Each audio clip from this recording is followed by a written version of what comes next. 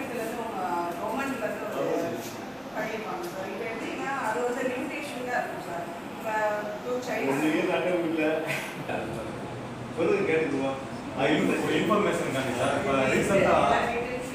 உங்களுடைய association secretary மயில் sir ஒரு பேட்டி கொடுத்துருக்காங்க அரசு காப்பீட்டு நிறுவனம் அரசோட காப்பீட்டு நிறுவனம் நிறையா வந்து நாங்கள் பாதிக்கப்படுறோம் இப்போ இருபத்தஞ்சுலேருந்து ஐம்பது சதவீதம் தான் சார் உங்களுக்கு லைன் பெரிய ஏழு லட்ச ரூபா வரைக்கும் உங்களுக்கு அதில் வந்து காப்பீட்டில் வந்து கவரேஜ் இருக்கிற மாதிரி சொல்லுவாங்க. பெரிய டிசீஸ்க்கு பெரிய ஆப்ரேஷன்ஸ்லாம் அதில் வந்து லைன் பண்ணுவாங்க.